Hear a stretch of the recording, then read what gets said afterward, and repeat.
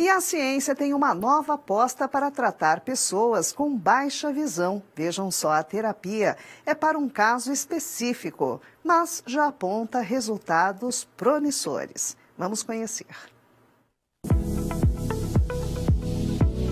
Pesquisadores da Universidade da Pensilvânia, nos Estados Unidos, desenvolveram uma nova terapia genética que pode revolucionar o tratamento da cegueira hereditária. Em um estudo com pacientes com amaurose congênita de Leber, uma doença genética rara, eles conseguiram restaurar de forma significativa a visão dos pacientes. Nos casos em que houve maior dose da terapia, a recuperação foi de aproximadamente 10 mil vezes a capacidade visual. Os resultados foram publicados na revista The Lancet.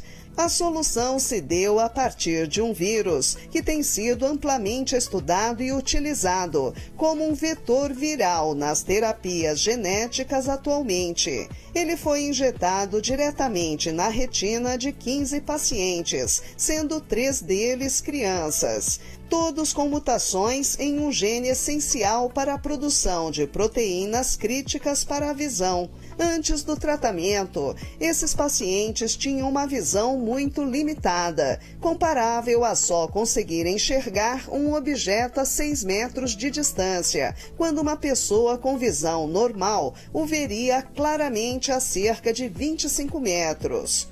Logo no primeiro mês após o início da terapia, já houve melhora dos pacientes. A nova visão se manteve estável por pelo menos 12 meses. Os efeitos colaterais foram mínimos, como pequenas hemorragias oculares e inflamações, tudo resolvido com tratamento, mostrando que a terapia genética é segura.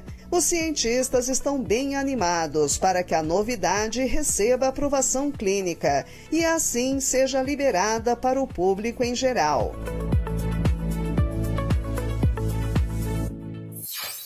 O Instituto Nacional de Meteorologia, o INMET, emitiu um alerta de perigo para 12 estados brasileiros e o Distrito Federal, devido à baixa umidade.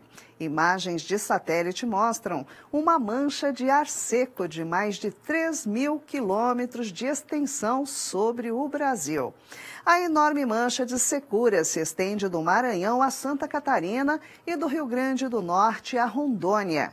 Apenas os estados do Acre, Amapá, Roraima, Amazonas e Rio Grande do Sul não estão totalmente cobertos pela bolha de ar seco. Pois é, todo mundo sentindo o ar bem seco e diferente mesmo, não, pessoal? Bom, cuidem-se e hidratem-se muito.